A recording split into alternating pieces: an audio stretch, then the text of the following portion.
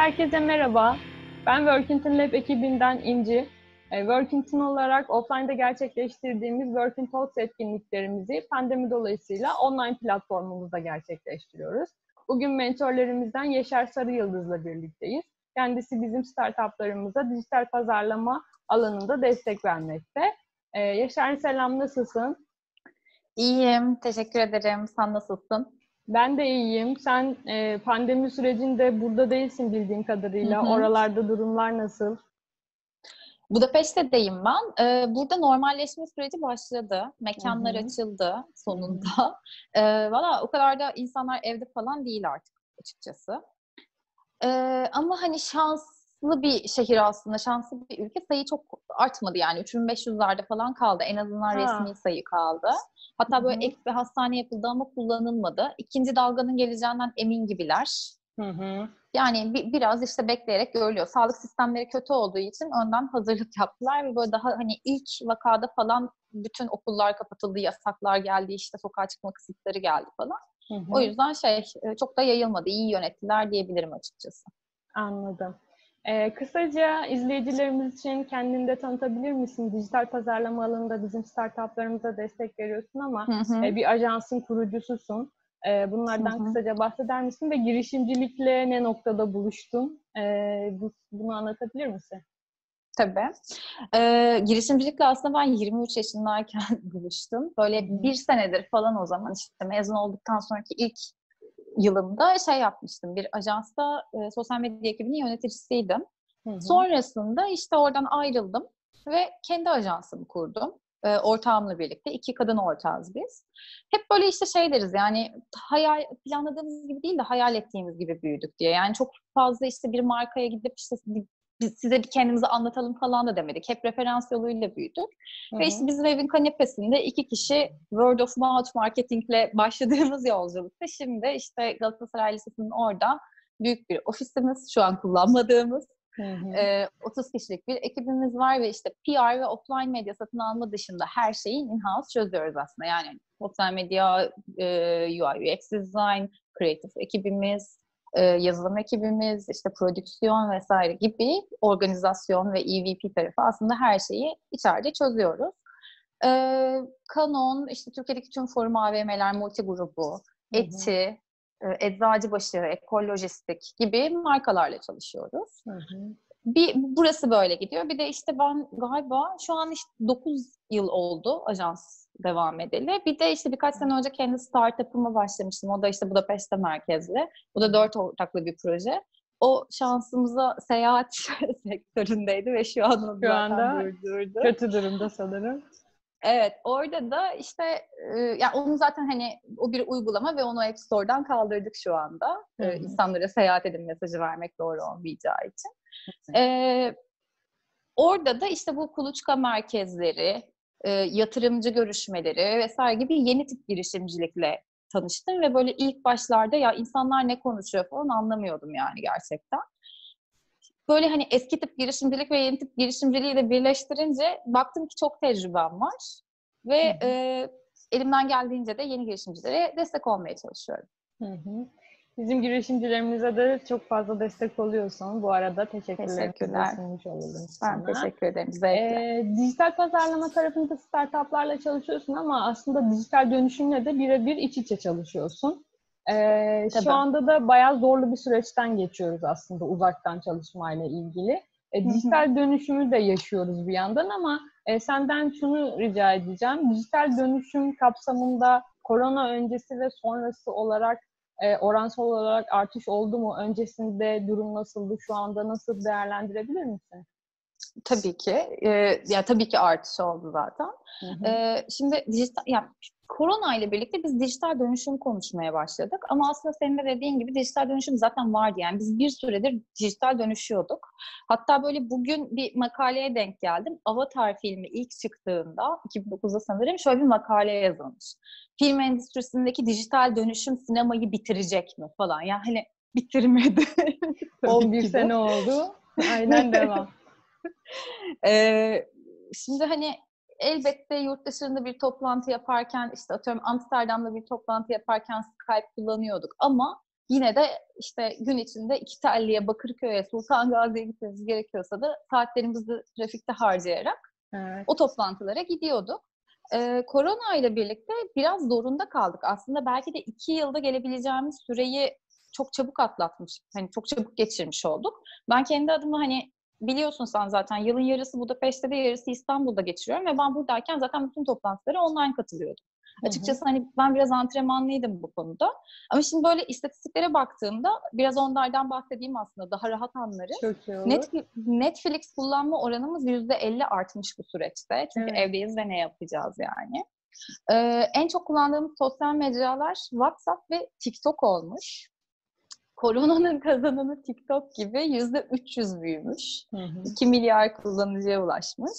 Yani, e, Instagram kullanımının düşüp işte TikTok'un artması da aslında hani e, şeyi çok güzel anlatıyor. Instagram biraz daha show off bir mecra ve aslında orada gezdikçe, yedikçe, içtikçe varsın ama TikTok sana çok fazla oyuncak sunuyor ve işte evde de bayağı bir şey yapabiliyorsun TikTok'la.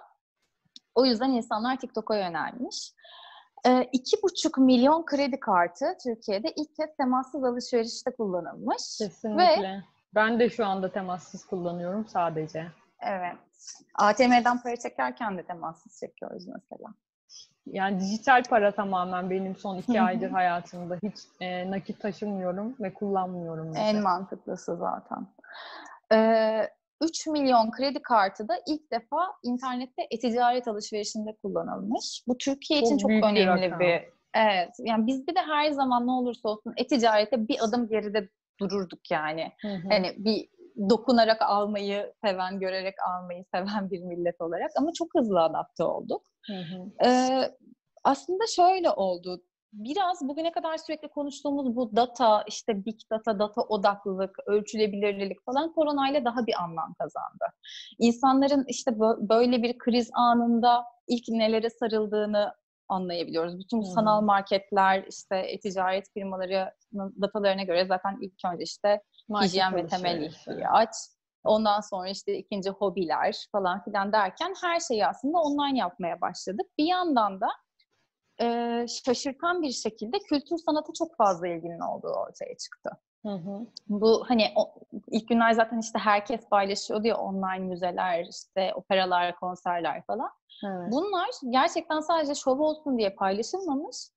Türkiye'den çok ciddi oranda izlenme de olmuş. Yani hı. ben buna biraz şaşırdım ve şu ortaya çıktı. Aslında insanlar kültür sanatla ilgileniyormuş ama ya maddi durumu el vermediği için o konsere gidemiyormuş ya da işte Anadolu'dan da çok fazla ilgi oldu ve hani hı hı. Anadolu'ya zaten bir tiyatro gitmiyordu yani belki evet. de işte bir operanın Anadolu'ya. Evet hani aslında kültür sanat alanında da bayağı bir şey değişiyor hı hı. ve orası da dijital dönüşümle bir şekilleniyor. Hı hı diyebilirim şimdilik. Hı hı, anladım. Yani e, senin de dediğin gibi hem istatistiksel olarak bunu görüyoruz hem de kendi hayatımızda yaşadığımız dijital dönüşümle birlikte de görüyoruz. Ben kendi hayatımdan dediğim gibi nakit parayı çıkardım şu anda son iki aydır. Temassız ödemeyle kredi kartı kullanıyorum sadece. Ya da dediğin gibi uygulamaların kullanımı arttı. E-ticaret de e, kesinlikle dokunarak, görerek almayı e, seven bir milletiz e, kendimden de biliyorum. Bu süreçte de dışarıda çok da çıkamadığımız için e, örneğin kitap alışverişimi e-ticaret üzerinden yaptım. Ki mesela o da değişecek. Kitabı Hı-hı. da artık almayacaksın. Hı-hı. İşte e, yayıncılık da değişiyor. Film endüstrisinin vesairenin değiştiği gibi. Şu anda hani bir sürü e-book, audiobook, e-book evet. platformları yavaş yavaş hayatımıza girmeye başlıyor. Evet. Çok fazla artık fiziksel kitap da almayacağız belki. Önceden dediğin gibi e, fiziksel olmayan kitap ya da başka şeyleri düşünmezken şu anda acaba alsam mıyı düşünüyoruz tabii ki. Ama e, dediğin gibi biraz daha e, bu dijital dönüşüm süreci değişen ve dönüşen bir süreç aslında as içerdiği gibi. E, biraz evet. daha şey alacaktır, vakit alacaktır. %100 dijitalleşme gibi bir şey e, çok söz konusu olmayacak gibi ama sen ne Yok. düşünüyorsun? Ya yüzde yüz dijitalleşme dediğimiz zaten çok hani daha yıllar olduğunu düşünüyorum bunu adaptasyon olarak da. Biz şu ana kadar hani dijital dönüşüm, dijital dönüşüm diyoruz da biz şu anda e, elimizdeki dijital tool'ları aktif kullanmaya başladık. Hı-hı. Yani bundan atıyorum 5 ay önce de toplantıyı Zoom'da yapabilirdik. Ama hani e, gitmeyi tercih ediyorduk. Yüz yüze Evet. olmayı tercih ediyorduk. Bu nedenle alışkanlıktandı. Şimdi korona ile birlikte artık böyle dijital tool'ları kazan, kullanmaya alışkanlık kazandık. Eğer bu süreç birkaç ay daha devam ederse de daha fazla hayatımıza gireceğini düşünüyorum. Yani hani bundan sonra gerçekten çok uzun bir süre zaten. Hiç kimse Hı hı. toplantı için bir araya gelmeyecek. Şimdi kurumların ofise dönüş, normal dönüş politikalarında bile gerekmedikçe toplantıyı asla yapmama gibi bir şey var. Yani zorunluysan hani ancak görüşmene izin veriyor. O da çok e, küçük sayıdaki insanlarla. Yani iki Evet. kişi, üç kişi falan bir araya gelebiliyorsun. Onun dışında her şeyi online platformlar üzerinden yapmanı istiyor. Şimdi yüzde yüz dijitalleşme dediğimiz şeyde de hani teknoloji çok ilerliyor ve aslında e, elimizde şu anda inanılmaz bir VR teknolojisi var. Bu gelişiyor. İşte Sony yeni bir tane PlayStation çıkarıyor. Bunda öyle bir VR kask ve VR suite var ki o VR suite'in üzerinde şeyler var. Küçük küçük noktacıklar var. Senin derinle temas ediyor. Hı hı. Ve e, atıyorum mesela sana bir okyanus dalgasını hissettirebilecek. Yani o soğukluğu hissettirebilecek işte e, koku bulunmadı ama onun evet rüzgarını, sesini, dalganın sesini, o görüntüyü tamamen gösterebilecek. Yani elimizde acayip bir teknoloji var şu anda ve bu gelişiyor. Hı Hani hı. bir ivme sürecindeyiz. Ama tabii ki de e, bir konser salonunda olmakla aynı şey olmayacak. Sadece ben şöyle olacağını düşünüyorum. İkisi bir arada olacak. Yani şimdi mesela atıyorum hani ben zaten buradayım ve biz seninle bu söyleşiyi ne zamandır yapalım diye konuşuyoruz ama hani İstanbul'a gelişim, gidişim bilmem neyim senin uygunluğun bir türlü yapamıyoruz. Evet. Ama şu anda hani Anında. bu tool'lar sayesinde artık yapabiliyoruz. Daha kolay oldu.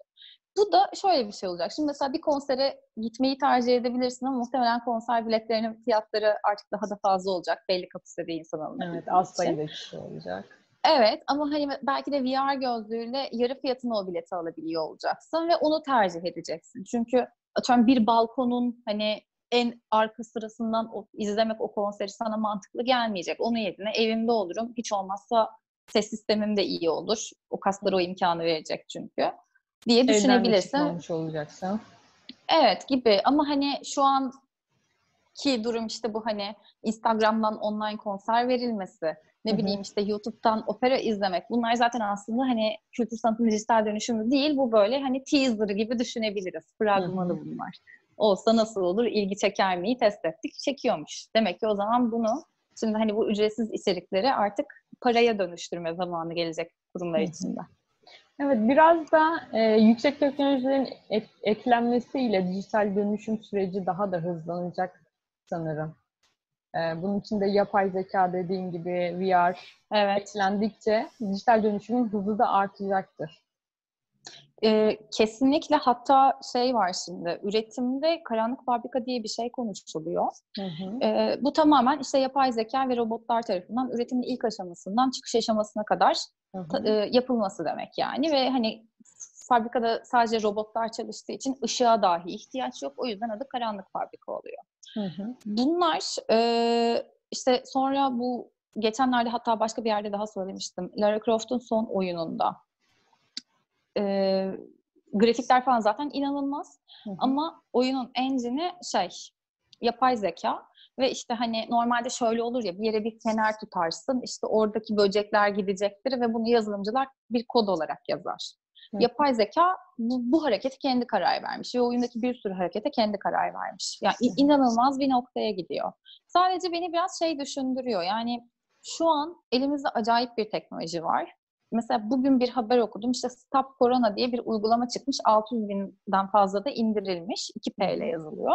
Ve şöyle bir şey yapı- yapıyor. Senin sürekli lokasyonunu alıyor. Yani Hı hı. uygulamayı indirdiğin andan itibaren e, lokasyonunu track ediyor ve uygulamayı kullanan herkesin lokasyonunu track ediyor. Eğer bir gün sen de COVID pozitif çıkarsa işaretliyorsun ve bu mesafe tema yani temas mesafesini de sosyal mesafeyi de takip ettiği için senin atıyorum işte son 15 günde kimlerle bir buçuk metreden yakın durduğunu sokakta Hı hı. ve sosyal ortamlarda dahi takip edebiliyor ve o insanlara uyarı, Uyarı gönderiyor. gönderiyor. İşte, hani böylece erken tedavi imkanı sağlıyor. Hı hı. Ama bir yandan bu inanılmaz şekilde mahremiyeti de zedelemiş Kesinlikle. oluyor. Şimdi o, o yüzden bence hani biraz etik değerleri de aslında konuşmaya başlayacağız gibi geliyor. Hani bu evlerden çalışıyoruz, lokasyon bağımsız çalışıyoruz. Ama şu an insanlar şeyi konuşmaya başladılar. Ya kim kaç saat çalışıyor görmüyorum. Acaba bilgisayarlara bir yazılım mı yüklesek? Hı-hı. ve takip mi etsek? Ama aslında hani bir yandan da özel hayatın ihlali demek ve e, bir şeyi çok abarttığında o şeyin çökmeme ihtimali yoktur.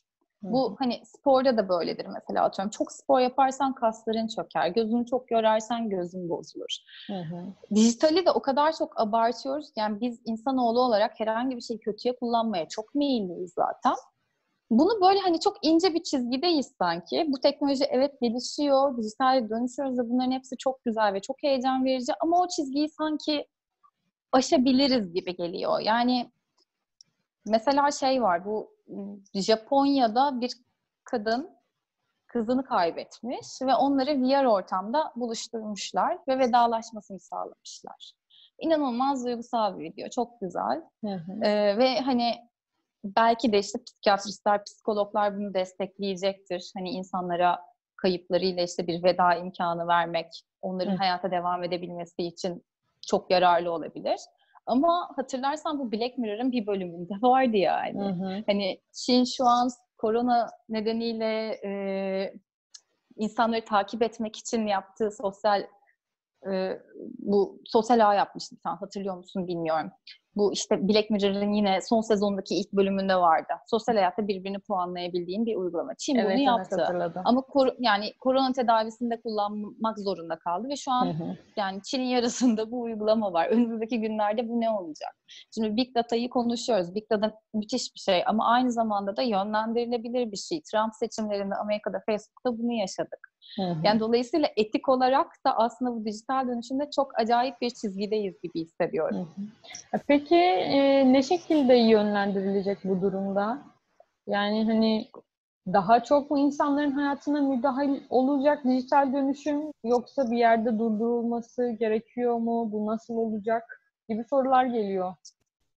Bilmiyorum. Çünkü hani distopik bir yere doğru da gidiyoruz. Hı hı. Ama bir yandan e, internet, dijitalleşme inanılmaz bir özgürlük alanı da sağlıyor. Tekelleşmeyi yok ediyor bir defa. Ee, böyle şimdi mesela küçük küçük yazılım ekipleri birleşip işte yeni oyunlar yazıyorlar ve bu hani Blizzard vesaire gibi firmaları belki hani tehdit eden bu küçük küçük firmalar birleşip işte çok büyük bir fayda olduğu için tehdit eden bir şeye dönüşebilirler. Yani aslında bir yanda hani tekelleşmeyi de yok ediyor. Ee, bu sanırım hani önümüzdeki günlerde hep birlikte öğreneceğimiz bir şey. Bu konuda çok kesin bir şey söyleyemiyorum. Yani iki yıl sonra bu videoyu geri dönüp izlediğimizde ne kadar saçmalamışım falan da demek istemiyorum yani. Hani ne umduk ne bulduk falan. Evet. O yüzden gerçekten hep birlikte göreceğiz. Tabii bu gelişen ve dinamik bir süreç olduğu için e, sürekli bir değişim yaşayacak. Biz de bunu takip edeceğiz ve yaşayacağız. Dediğim gibi iki yıl sonra bu videoyu tekrar dönüp bakmak isterim aslında. Ee, peki bu dijital dönüşüm bizim çalışma alışkanlıklarımızı da değiştirdi. Ee, çok fazla dijitalleştik. Ee, evden çalışıyoruz büyük bir çoğunluğumuz ama e, pandemi sonrası nasıl bir durum gerçekleşecek? E, herkes uzaktan yani... çalışmaya devam etmeyecektir mutlaka ki. Ofislere dönmek isteyecek. Çünkü ofislerin yaşattığı bir sosyal ortam var. E, insan sosyal evet. bir varlık olarak bunun eksikliğini çekecektir evden çalıştığı müddetçe. Ee, ee, sen ben görüyorsun. Ya ben ofisten çalışmanın karşılığının yani ofisten çalışmamanın evden çalışmak demek olduğunu düşünmüyorum bu arada. Hı hı. Yani insanlar bence biraz bunu yanlış değerlendiriyor. Şu an işte, e, gerçekten herkes ikiye ayrılmış durumda. Bir kısım ay böyle iyi gidiyoruz zaten ne gerek var ofislere diyor. Hı hı. Bir kısmı da yani ben ofisi çok özledim diyor. Bizim ekipte de az önce hatta böyle bir şey konuşuluyordu. Sonra böyle ben hı hı. şey dedim. Ya neden ofiste çalışmayınca evde çalışacağınızı düşünüyorsunuz ki? Git bir ay Tayland'da çalış mesela dedim. Ve herkes ha dedi bir anda. Hı hı. Yani dijital göçebelik dediğimiz bir kavram var ve aslında biz şu an lokasyon bağımsız çalışmaya alışıyoruz. Hı. Bir de hani ben bundan sonra kendimiz için de diyorum yani bizim ekipte ofisi çok seviyor, özlediler yani bir kısmı en azından. Ama hani e, bu süreç birkaç ay daha devam ederse ya da atıyorum gerçekten ikinci bir dalga olursa ve bir süre daha evlerde olmamız gerekirse sonrasında neden daha kompakt yapılara geçmeyelim ki? Coworking space'ler bunun için yok mu zaten? Yine sosyalleşebilirsin. E, ama hani daha kompakt bir yapıda işte atıyorum sürekli ofisin temizliğiyle uğraşmadan yok ampulü patladı, sifon bozuldu, Hı-hı. işte villada nerede falan gibi hani bunlarla uğraşmadan e, iste, isteyenin gidip kendi masasında çalışabildiği, toplantı için book edebildiğin odalarla coworking space'lerin daha da anlam kazanacağını düşünüyorum. Hatta ben zaten e, korona sürecinin sonrasında gerçekten lokasyon bağımsız çalışmaya da alışırsak, yani bu hayatımıza yerleşmiş olursa ki umarım olur, e, dijital göçebeliğin de artacağını ve seyahat sektörüne de bir can geleceğini inanıyorum. Bunu Hı hı. Evet biraz optimist bir yaklaşımım var bu konuyla ilgili. Ve belki de hani dijital dönüşüm değil, duruyoruz ama işte hani bence mesela coworking space de dijital dönüşümün bir parçası. Çünkü hani daha e, hareketli olabilmeni sağlıyor hayatta. Sana daha fazla hareket alanı sağlıyor. İşte, Artı lokasyon bağımsızlığını da destekliyor. Kesinlikle. işte Workington olarak biraz araya gireyim istersen. E, biz tabii, tabii, e, çok lütfen. farklı lokasyonlarda coworking hizmeti sunduğumuz için çok farklı sektörlerdeki müşterilerimiz var bize. Hı hı. E, dolayısıyla onlar böyle farklı lokasyonlarda alternatif sunmamızdan çok memnun oluyorlar. Artı dediğin gibi e, cowork alanda sosyalleşmesini de sağlamış oluyor.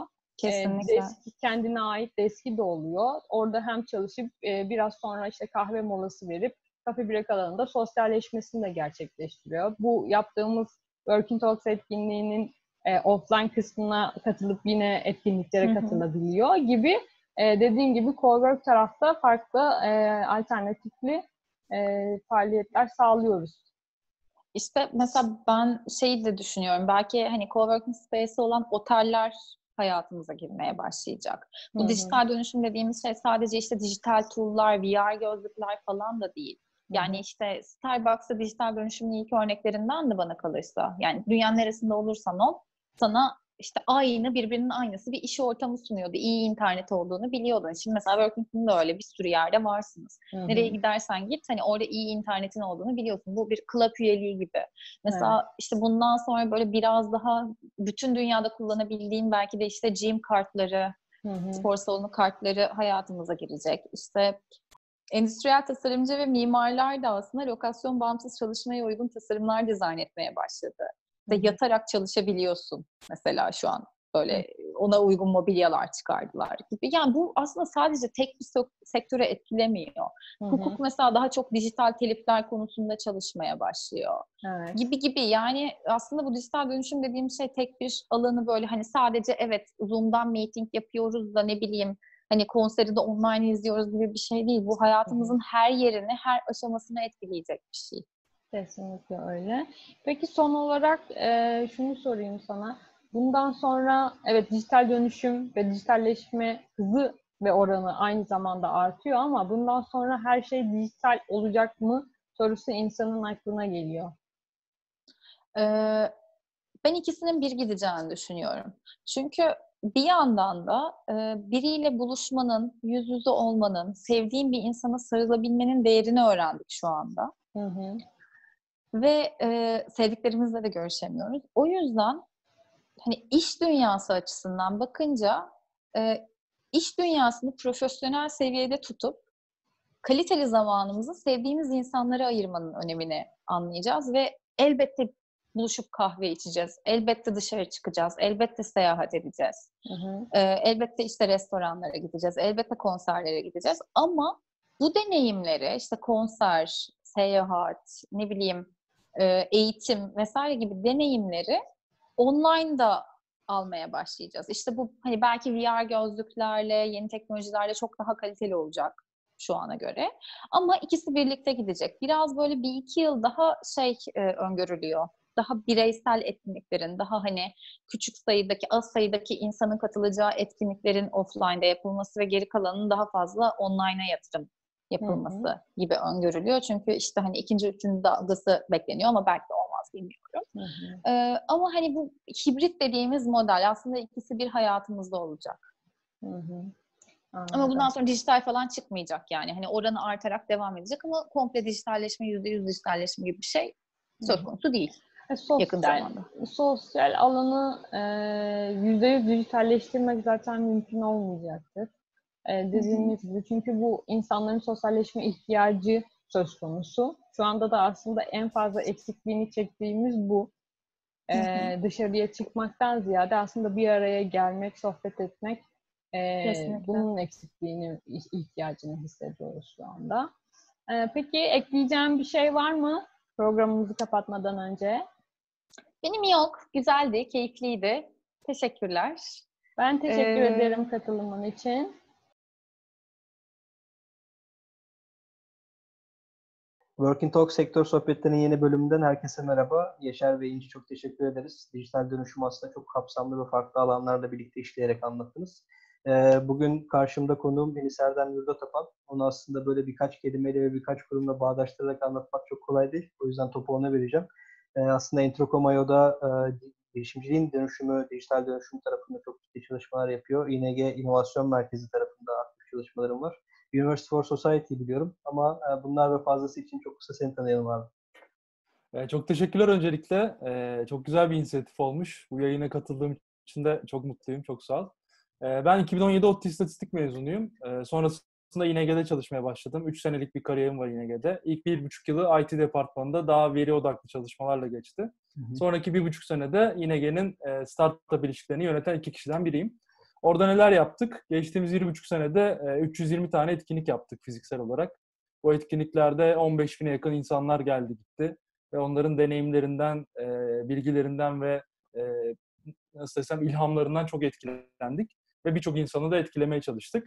Ve bu sayede çok güzel bir topluluğumuz olduğunu inanıyorum. Yani şu an mesela işte fiziksel olarak yapamadığımız için mesajlar yağıyor yani öyle söyleyeyim sana. İşte ne zaman kavuşacağız, ne zaman döneceğiz yerimize falan diye. Çok sanki güzel mesajlar var. Bugünleri tahmin ediyormuş gibi e, fazla bir etkinlik yüklemesi yapıyordunuz hatırlıyorum. Evet. Yani yine Ramazan'dayız. Geçen sene Ramazan ayında biliyorum Arife'de bile etkinlik evet. yapmıştınız. Yaptınız. Aynen. Bayrama kadar devamdı. Ee, şeymiş gibi hissediyorum. Hani sanki bir gün böyle bitecekmiş gibi cidden öyle bir algı varmış bende. Hani bir tane daha bir tane daha derken çok güzel bir tempo yakalamıştık. Hı hı. Bakalım hani döneriz ligine ama ne zaman belli değil. E, Entrecom tarafında da biz 8 aydır çalışıyoruz aslında. Oradaki bizim amacımız ekosistemin kalitesini arttırıp biraz daha sürdürülebilir olmasına katkı sağlamak ve bu sayede ülke ekonomisini geliştirmek. Hı hı. E, ben bunu hani birçok girişimci adayıyla, girişimciyle ve çok daha ileri seviye startuplarla çok konuştum. Ve onlardan e, birçok farklı done elde ettim. Ve o doğrultuda bir projeye başladık ve şu anda böyle puzzle'ın parçalarını birleştirip çok daha büyük bir e, senin de dediğin gibi dijital platform haline getirmeye çalışıyoruz. Birazdan hani sorularında detaylandırırım. University for Society'de de biz girişimciliğin altyapısı olacağız diyoruz. Yaklaşık 4 senedir. E, şu an tüm Türkiye'de e, 80 tane kampüste bizim temsilcimiz var. 40 tane ilde. Ve bu sene daha datalarını dün gece hazırladım. Hani çok rahat data konuşabiliriz.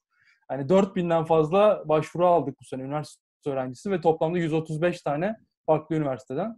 Ve bu e, üniversite öğrencilerine e, biz her hafta sonu, son 7 haftadır online bootcamp'ler yapıyoruz. Hı hı. Ve oradan çıkan başarılı e, girişimci adaylarını da Haziran'ın ortasında bir hızlanma programımızı alacağız. Yaklaşık 150 tane ekiple hızlandırma program, programı başlayacak. E, bakalım bizi neler bekliyor. Fizikseldeki bir tanesine teşekkür ederim tekrar davetinde jüri üyesi olarak katılmıştım. Aynen. Gerçekten hani üniversite öğrencilerinin erken aşamada e, yani üniversite bile aslında belki geç girişimcilik için evet. biz bu sohbetlerde de çok konuşuyoruz daha erken yaşlarda başlamalı ama üniversite öğrencilerinin ciddi anlamda yoğun bir ilgisi var. Ya oraya birazdan Kesinlikle. değineceğim. Yani inovasyonun ve aslında girişimciliğin dijitalleşmesiyle alakalı. Çok kısa oraya geçmeden şeyi sormak istiyorum sana. Yani biz çok fazla aslında bu tarz e, sohbetlerde Covid'e değinmiyoruz ama şimdi dijitalleşme konuştuğumuz için Yaşar da bahsetti. Ee, Covid e, bizim aslında yıllardır konuştuğumuz şeylerden farklı bir e, etkiyle gelmedi. Ama sadece bazı şeyleri çok ciddi hızlandırdı. Evet. Ben burada sana şeyi soracağım. Şimdi e, aslında ikimiz de girişimci ruhlu insanlarız. Evet. Bir yandan kurumsal tecrübelerimiz var. Bir yandan da girişimcilikle ilgili uğraşımız var. Bu genelde benim çok kurumlarda çalışan arkadaşlarla konuşmalarımda vesaire karşıma çıkan bir şey var. Bu e, kendi kendini motive etme tarafı. Biz girişimcilerde aslında bir kas çünkü sürekli Kesinlikle. iniş çıkışlar var. Sürekli finansal olarak bir şeyleri e, kovalıyorsun ve e, kendi kendini motive etmen gerekiyor. Bu dönemde bence insanların en çok geliştirmeye çalıştıkları taraf e, bu. Sende nasıl Kesinlikle. oldu bu Covid'e adaptasyon ve kendi kendini motive etme stratejilerin neler çok kısa onu bir sorayım. Abi şöyle söyleyeyim. E, ben dört defa modif yeniden e, şey yaptım. Motivasyonumu sıfırdan kazandım. Çünkü şeyler değişti. Amaçlarım çok değişti. Hı hı. İlk ilk şeyim, ilk adaptasyonum 32 dakika falan sürdü. Hani böyle tam açıklandı 11 Mart vaka açıklandı. Bize mail geldi. İşte yarından itibaren herkes evden çalışıyor diye. O anda ben direkt bütün şeyimi değiştirdim. Normalde e, daha geç kalkıyordum e, İNG'de çalışırken, hani full time devam ederken. Çünkü akşamları etkinlikler oluyordu. Akşam etkinlik olmadığını fark ettiğim için kalkma saatimi 3 saat geri çektim anında. Ona göre bir işte gündüz programı hazırladım. Öğlen akşam gibi. Hızlıca bir e, nasıl denir o recovery denir ya. Hı hı. Yani hızlı bir toparlanma haftası hazırladım kendime. O haftada işte 3 tane kitap okudum. E, bol bol kaynak inceledim. Çünkü herkes çok fazla konuşuyordu o periyotta. E, yani bir hafta benim için bir şeydi yani. Böyle geri planda kalma haftasıydı. Sonra birinci haftanın sonunda o bizim işte e, küçük çaplı bir Entre Covid adında bir projemizi ortaya Hı-hı. çıkardık. Oraya çıktıktan sonra bir anda bir adaptasyon daha yaşadım. Böyle çalışma saatimi günde 18 saate falan çıkardım neredeyse. Böyle 3-4 günlüğüne. E çünkü ING'de de aktif devam ediyordu. Böyle hani uyuyorum, uyanıyorum, bütün gün çalışıyorum, tekrar da uyuyorum. Bir 4 günlük öyle bir periyoda girdim. Projeyi belli bir seviyeye getirdik. İnsanların şeylerine sunduk işte ücretsiz indirimli fırsatları, ne bileyim işte e, değerli kaynakları, güzel canlı yayınları vesaire böyle bir hızlı bir platform yapıp servis ettik insanlara. Hı hı. Sonra o, o ilerledi. E, bir anda ben şeye girdim, canlı yayın moduna girdim. Normalde ben e, ara ara giriyorum o moda. E, İNG'de de işte belli baş periyotlarım vardı. Hani bir ay mesela 20 tane söyleşi yaptığım olmuştu. Ama sonra iki ay hiç yapmıyordum gibi. Sonra bir anda yine dedim ben bir podcast canlı yayın moduna gireyim. Ee, o girdiğimden beri de 115'e yakın yayın yapmışım korona periyodunda. Ona girince şöyle bir düzen oldu. Ee, gündüz 12.30, akşam 5, akşam 9.30 gibi böyle 3 tane canlı yayın şeyi hazırladım kendime adapte olabilmek için. Aralara hem hazırlanma süresi hem de çalışma süresi gibi koydum. Ee, geceleri de böyle daha e, ne bileyim data odaklı işler, daha araştırma odaklı işler koydum. Yani hep şey yani bir periyot geliyor. Hani canım farklı bir şey yapmak istiyor ve bir fırsat görüyorum. O fırsata göre hemen çalışma saatlerimi, uyku saatlerimi hızlı bir şekilde adapte ediyorum. Yani belki dinleyenler için çok sağlıklı görünmüyor olabilir.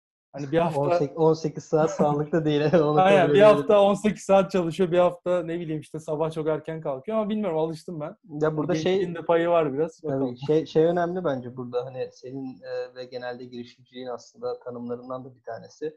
E, hep böyle hani e, krizden fırsat doğurmak aslında ekonomik Aynen. katkı gibi düşünülür. Yani ben şu an bir kriz ortamındayım. Ne yapıp para kazanabilirim? Hı. Bunun sadece ekonomik etkileri yok aslında. Krizi fırsata Kesinlikle. çevirmek bireysel olarak da fırsatı çevirebilirsin. Hı hı. İşte seninle konuşuyoruz abi daha çok zamanım var, daha çok araştırma yapıyorum diyorsun. Kesinlikle. Dolayısıyla benzer şeyler bende de var. Dolayısıyla aslında burada fırsatlar neler? Hani biraz girişimciliği tekleyen şey aslında o motivasyon. Bir şey Aynen. şey yapabilirim ve değer katabilirim. Burada da gerçekten hem Entrocovid tarafındaki aslında ekosistemde varlığımız hem de senin orada bir dijital kayıt da tutmuş oldun. Biz de Zortun olarak ben konuk olmuştum podcast'te. Yani Covid'den nasıl etkilendi, farklı farklı sektörler gibi bunların hepsi bir dijital ayak izi. Buradan şeye geçmek istiyorum. Şimdi İNG İnovasyon Merkezi'nde programlar devam ediyordu. Hı. Sizin süreçte işte son bir programa çıkmıştınız. San Francisco'ya gidecek ekibi bedelediniz hatta. O tarafta bir yandan da University for Society tarafında online'a çevirdiniz hackathonları bildiğim kadarıyla. Burada Aynen. şeyi sormak istiyorum. Şimdi inovasyona adım atmak isteyen çok fazla kurum var. Ama tabii nereden başlayacağını bilmek de bir meziyet e, kurum içi girişimcilik kültürünün belli bir seviyede oluşması gerekiyor vesaire. E, biz bu dönemde ciddi anlamda Working Lab tarafında bu sunduğumuz danışmanlıkları dijitalliğe nasıl çevirebiliriz çalışmasını yaptık ve kurumlarla görüşüyoruz. Senin buradaki görüşlerin neler? Çok net bir soruyla başlayacağım aslında. Sadece online bir hackathon ya da sadece online bir program olur mu? Bunlar nelerle bağlantılı hale getirilmeli? Nasıl etkisi artmalı? E, biraz buradaki düşüncelerini çünkü hem ING tarafındaki fiziksel program tecrüben var hem de University for Society'de bir online hackathon seri tecrübem var. E, bunu çok kısa merak ediyorum senden. Tamam. Ee, şöyle biz 7 hafta üst üste online bootcamp yaptık. Ee, bizimki hackathon gibi değil hani kodlama yok daha bootcamp gibi fikir geliştirme gibi. Sonrasında ekipler hani şey yazılıma döküyorlar işi. Tabii şimdi farklı şeyler var. Hani fizikselden dijitale geçildiğinde farklılaşan birkaç şey var. Onunla başlayayım ben. e, bir kere dijitalde bir şey fark ettik. İnsanların e, bırakma oranı çok daha yüksek. Hı hı. Yani mesela bir tane mentora kafası atıyor. Bir tane jüriye sinirleniyor. Ne bileyim e, siz yanlış eğitim veriyorsunuz diyor mesela. Anında çıkıveriyor. Telefonunu kapatıyor. Bizim temsilcilerin numaralarını engelliyor. Hiçbir şekilde ulaşamıyorsun. Birinci fark ettiğimiz bu oldu. Bence İkincisi, doğal, doğal, doğal seleksiyon diyebiliriz. Aynen. Ee, biz zaten çok şey yapmıyoruz. Hani kendi istiyorsa da yapacak evet. bir şey yok hani. Fizikselde öyle olmuyor. Hani ikna edebiliyorsun, konuşuyorsun. Hani bak dayan biraz daha vesaire. İkinci fark ettiğimiz bizim fizikseldeki kadar uzun süreler koymamak gerekiyor. Hmm. Hani 48 saat hiçbir şey tutmak çok zor. Ya şimdi atölye falan yaptı tutuyorlar ama hmm. onlar çok çok emek sarf ediyorlar ve çok fazla ekip arkadaşlar var bunu yapmak için. Biz 48 saati mesela 30 saate düşürdük.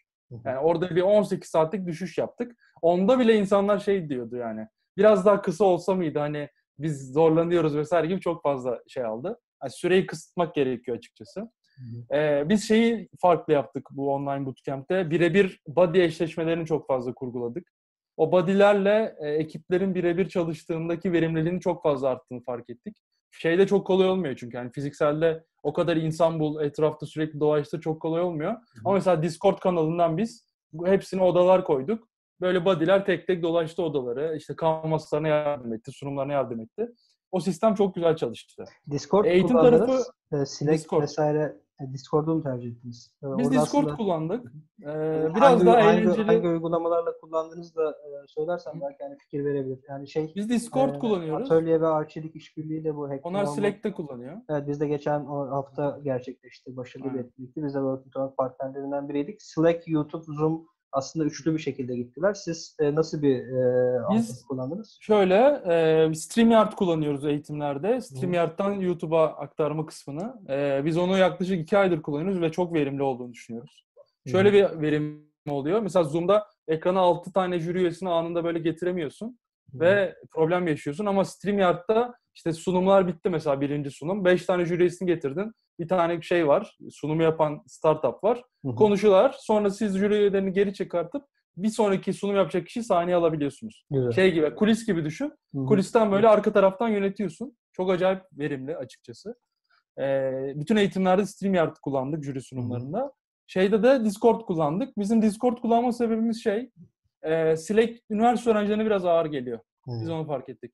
Hani zorlanıyorlar, e, anlamıyorlar, zor geliyor vesaire. Ama şeyde Discord'da çok eğlenceli şeyler var. Mesela en basitinden e, gruba yeni biri girdi aşağıda şey yazıyor. İşte vahşi bir Enis belirdi falan. Yani komik evet. şeyler oluyor. Ve seviyor insanlar açıkçası bunu. Çok oyun, ee, oyun, dışında... oyun oyuncular çok evet. kullandığı bir program. Aynen. Ama üniversite öğrencilerine çok güzel gitti. Biz evet. öyle gördük yani. Şeyler çok güzel işte müzik kanalları falan oluşturabiliyorsun. Fuaye alanı gibi bir şey yapıyorsun. İnsanlar geldiğinde oyun oynatıyorsun falan. Ee, biz daha böyle genç bir kitleyi davet ettiğim için Discord tercih ettik orada. Ve şeydi yani böyle cuma akşam 5'ten e, pazar şey pardon cumartesi akşam 11'e kadar non-stop bir periyot. Sadece böyle arada bir saat boşlukları oluyordu. Cumartesi e, 1-2 arası. Geri kalan full. E, ve dediğim gibi hani 7 hafta boyunca e, çok problem yaşamadık. Ve yani dolu dolu gitti. Eğitimlerin hepsini biz verdik. Mentorları temsilcilerimiz verdi ağırlıklı olarak. Yine dışarıdan da çağırdık ama orada hani biraz community'nin gücünü de kullanıyoruz açıkçası. Yani 4 senedir yaptığımız için hem temsilci Tabii. çok fazla var hem girişimci çok fazla var. Öyle onları besleyecek şekilde bir düzenimiz var. Ee, yani kısacası bunları söyleyebilirim. Şimdi dediğim gibi hani 110'a yakın ekip başlayacak.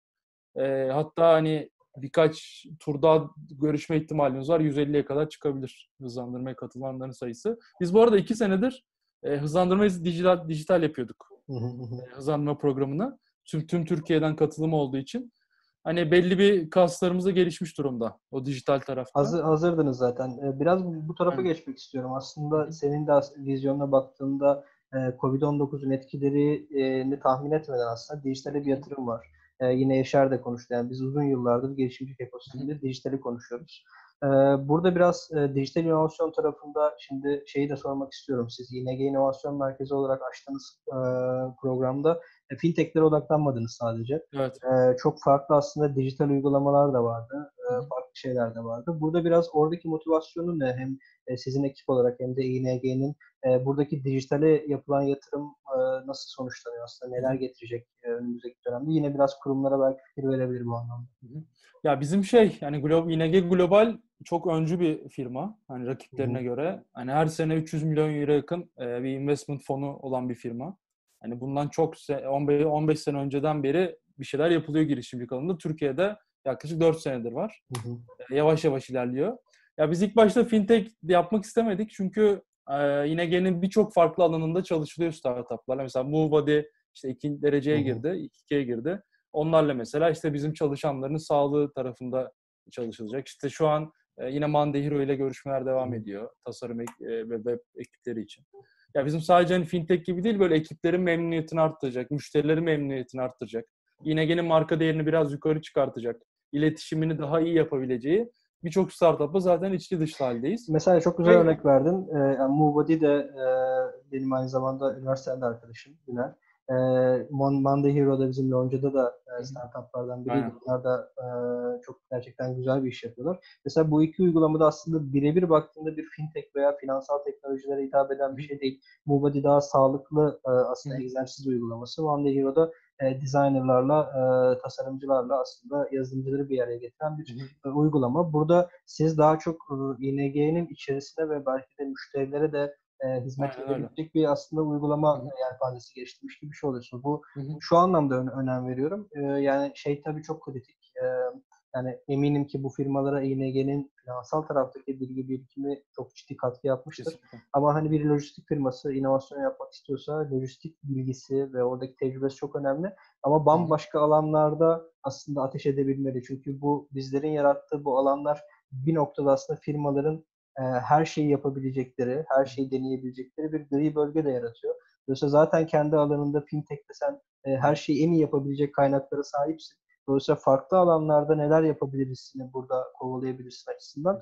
E, bu yaklaşım ben de önemli görüyorum açıkçası. Ya öncesinde bu dediğin zaten değerli ve hani değerli olmaya başlamıştı ama koronadan sonra bence dört kat daha fazla değerli oldu. Çünkü şu an o kadar çok şey örneği var ki mesela görüntü işleme yapan bir işte Reminis tan tanıyorsundur tutkuları. Onlar işte akciğer röntgeni üzerinden Covid teşhisi yapmaya sağlayan bir şey evirdiler mesela bir modülü.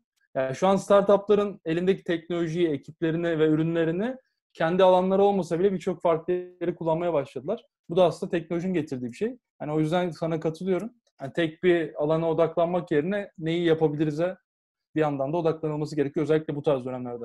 Peki e, son olarak şey sorayım yavaştan kapatalım. Bu e, dijital e, aslında inovasyonun da dijitalleşme sürecine bir anda e, deniyoruz. E, ki Entrecom aslında bu vizyonla ortaya çıkmış bir e, ürün ve e, yine dediğim gibi e, senin COVID-19 öncesi aslında vizyonu da gösteriyor ve ne kadar doğru bir adım olduğunu gösteriyor.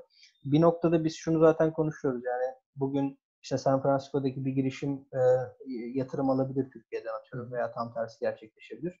E, ne kadar fiziksel alanların e, tamamlayıcılığına ihtiyaç olacak ve e, dijital inovasyon aslında belki de e, çok fazla bu tabirle kullanılan bir şey değil. Yani kapalı inovasyon, açık inovasyon klasik Hı-hı. olan noktalar. Kurum içi yine inovasyon tarafı önemli. E, daha çok ARGE'nin vesaire olduğu.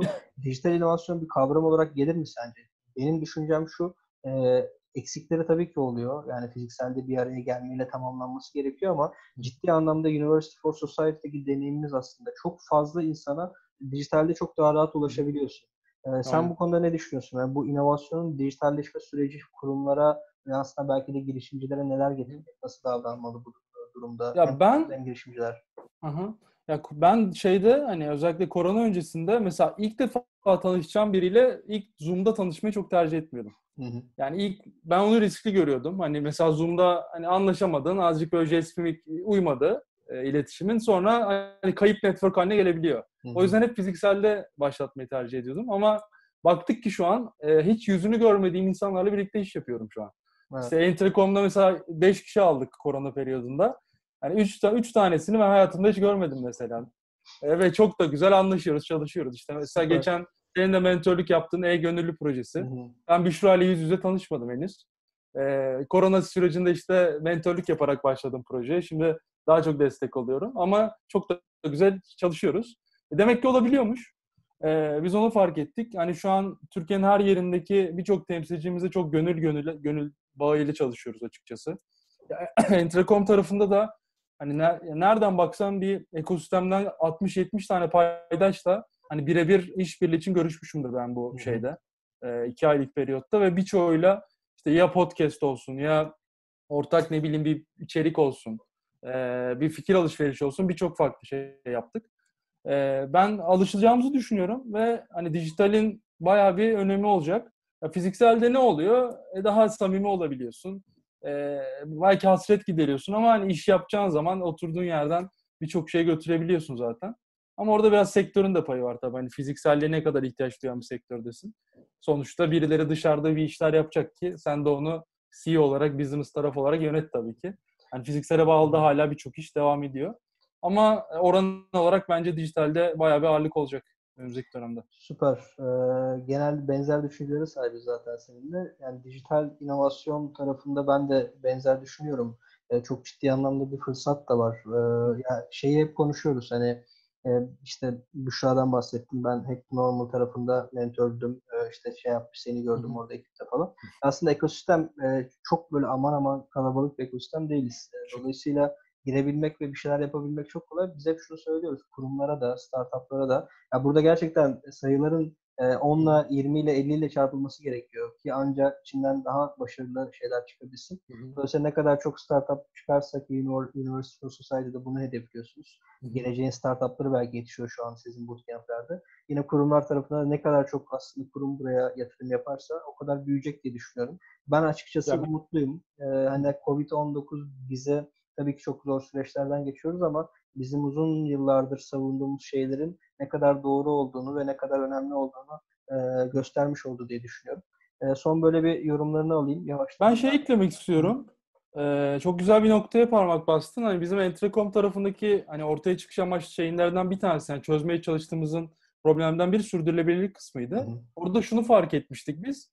Mesela ING şu an mesela yapıyorum ben hızlandırma programı. işte etkinlikler yapıyorum. Ama ben mesela 2 sene, 3 sene, 4 sene neyse e, ne kadar sabredecekler bilmiyorum. Hani güzel yapmasaydım, bir etki yaratmasaydım dördüncü sene sonunda ING CEO'su diyebilirdi. Burası ne işe yarıyor? Burasını Hı-hı. kapatsak mı? Bu sadece ING için geçerli değil. Yani ING en iyi örneklerden biri hatta. Ama birçok farklı kurum bir iki sene dene, deniyor ama sonrasında kapatmaya daha yakın oluyor. Bu sadece kurumsal şirket de değil yani topluluk, dernek için de aynı şey geçerli. Diğer paydaşlar için de. Ya o yüzden de bizim birbirimizi daha çok tanımamız gerekiyor. Biz o yüzden bütün bilgileri ücretsiz açıyoruz web sitesinde. Herkes görsün istiyorum çünkü. Yani bilgiyle para kazanmak istemiyorum. Daha fazla işbirliğine gitmemiz gerekiyor. Birlikte değer üretmemiz gerekiyor.